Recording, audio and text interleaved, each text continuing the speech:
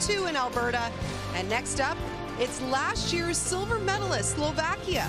It was goal and a power play goal. That's Ethan Gauthier from the Sherbrooke Phoenix. It was absolutely terrific of the game, and the whole lineup at times, Laura, was dominant throughout this game. Well, speaking of the lineup, player, he's expected to go on the top 10 of the upcoming draft. He played in uh, neat. Uh, they lost a penalty-filled game to Sweden yesterday, Dave.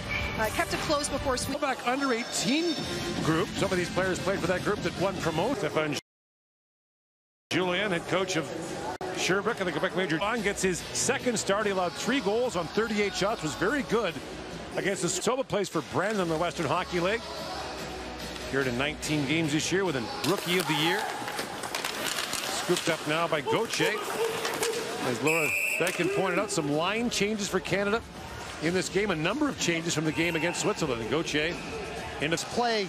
And as he moves into position, he just maintains a real solid positioning. Jumping right into the attack. In comes Molnar with it. Molnar throws it back in front. A great look there for 15 years old. And playing on the top power play. Now walking in. Price put that wide. Brayden Yager in the middle of another. Pass bounces back to height to Tourigny. Feeds it across and a hard shot by Benson. Saved by Urban. Gauthier and they're battling. And right away, a shoving match ensues. And Dyke across to Ritchie. Back in front of the goal between the legs. The play there by Crystal. But Samuel Urban holds his ground. Yager in, shoots, scores! Brayden Yager snaps that home. And the power play goal makes it 1-0 Canada. Brayden Yager had his first shot blocked. I was thinking about Kiskinen for Finland. You know, good shooter, good hands. Get that puck off sooner.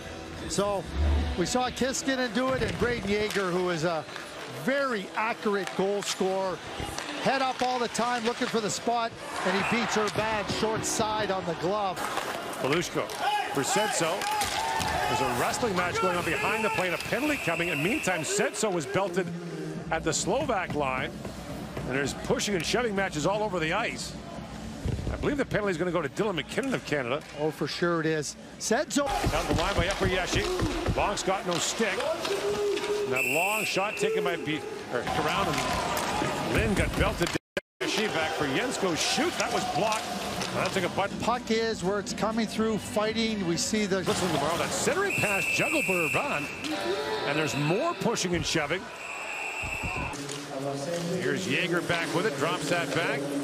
Moldak plays it across, and a shot there by Tourigny, the save by Urban. And again, after every whistle. And now Urban was stung by that shot. Hey, we're done. Thank you.